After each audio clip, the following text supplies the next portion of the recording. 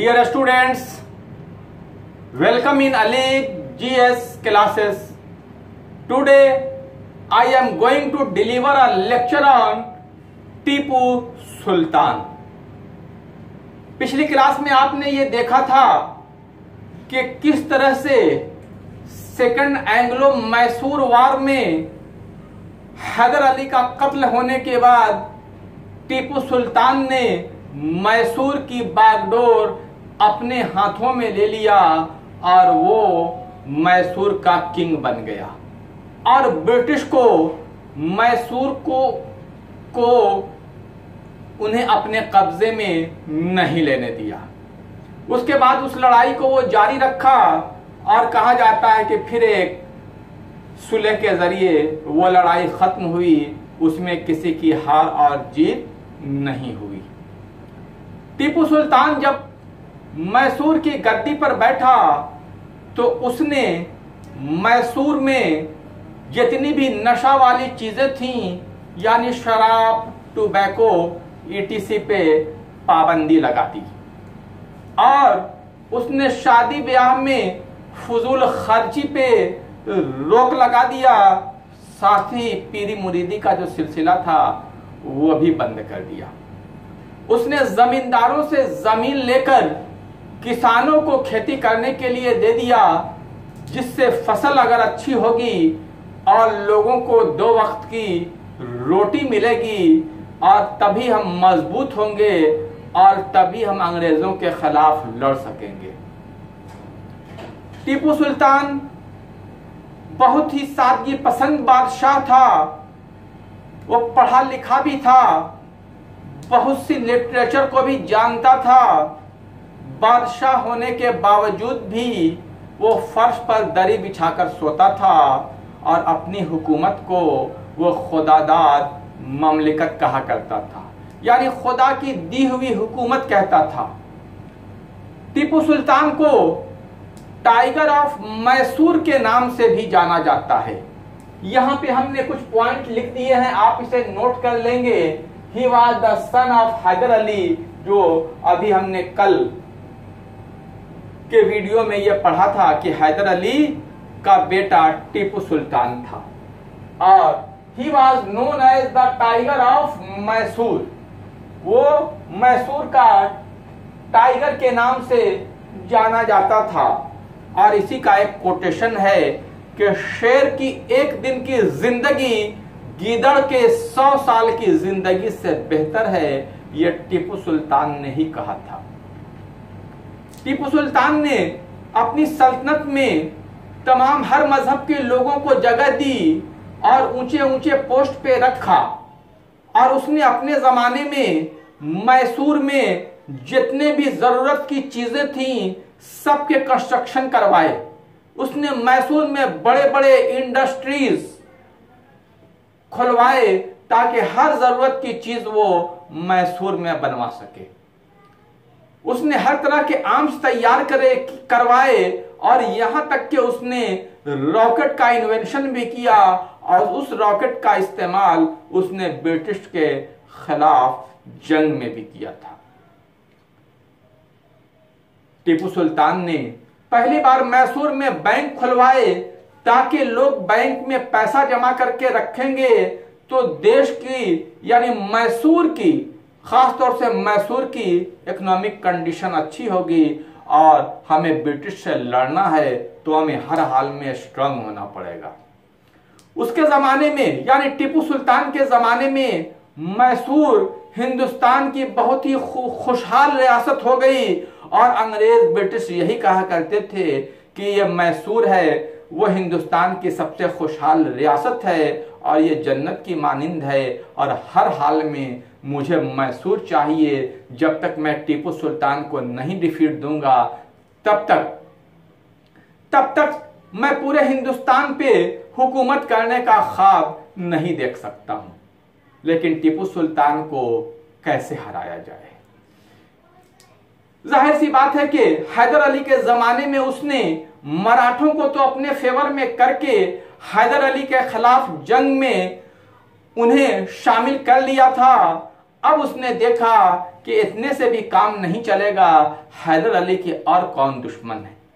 कहा जाता है कि हैदराबाद के जो निज़ाम थे, वो भी हैदर अली के दुश्मन थे। तो ब्रिटिश ने हैदराबाद के निज़ाम को भी अपने साथ मिला लिया। और तीनों ने मिलकर मैसूर की तीसरी जंग छेड़ दी। Third Anglo Mysore war. 1792 में कहा जाता है कि, नहीं सॉरी 1789 में ब्रिटिश ने थर्ड एंग्लो मैसूर वार शुरू कर दिया। यह लड़ाई बहुत दिनों तक चलती रही। वैसे ब्रिटिश जानबूझकर लड़ाई को किसी भी जंग को लंबा खींचते थे ताकि वो यहाँ के लोगों को बिल्कुल पस्त कर सकें, क्योंकि यहाँ के लोग लड़ाई में, शुरू में ही अपनी पूरी ताकत लगा देते थे, जिससे वो कमज़ोर हो जाते थे, थक जाते थे। और ब्रिटिश शुरू में डिफेंस किया करते थे। तो यही हुआ। कहा जाता है कि यह जंग दो साल तक चली। और दो साल तक चलने के बाद टीपू सुल्तान का कहा जाता है कि बहुत ज़्यादा नुकसान हुआ था। टीपू सुल्तान ने देखा कि वो तीन बड़ी ताकतें हैं और मैं ये जंग अकेले मिलकर लड़ रहा हूँ। तो ज़ाहिर सी बात है कि अब मेरी हार यकीनी है। तो उसने फिर ब्रिटिश से एग्रीमेंट कर लिया। उसने 1792 में Srirangapatna, the treaty of Srirangapatna sign कर लिया और उसमें कहा जाता है कि टीपू सुल्तान को इस सुलह में अपनी आधी रियासत ब्रिटिश को देनी पड़ी थी। उसने अपनी आधी रियासत ब्रिटिश को दे दी। पॉइंट यहाँ पे नोट किया हुआ है टू बी।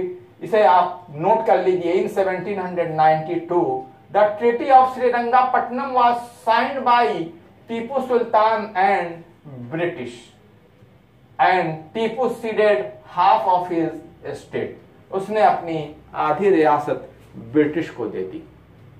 अब चूँकि जीते ज़िंदगी टीपू सुल्तान ने अपनी आधी रियासत ब्रिटिश को दे दी थी तो ज़ाहिर सी बात है कि यह बात उसके लिए इंतहाई तकलीफ़ दे थी, लेकिन इसके अलावा और कोई चारा नहीं था। उसने ये सोचा था कि अभी हम फौरी तौर पे दे देते हैं फिर हम अपनी फौज को मज़बूत करने के बाद फिर उन लोगों से अपनी यह रियासत को हम जीत लेंगे।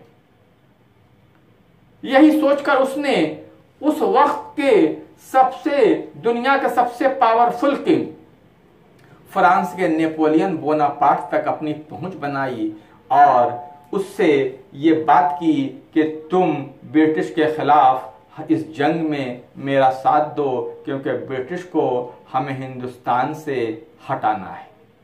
अभी ये बात चल रही थी कि ब्रिटिश को इसकी भनक लग गई और उन लोगों ने फिर से मराठों और निजामों को अपने फेवर में लेकर मैसूर की चौथी जंग शुरू कर दी।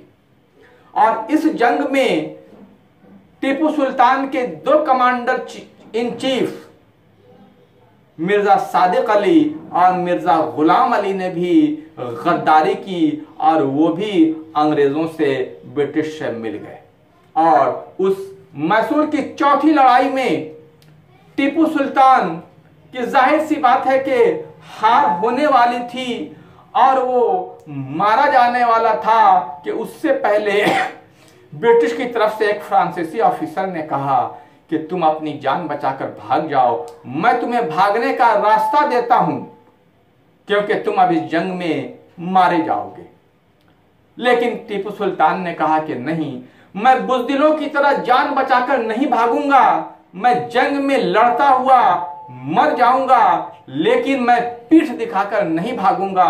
और वो ब्रिटिश के खिलाफ जंग लड़ता हुआ शहीद हो गया, लेकिन वो अपनी जान बचाकर नहीं भागा।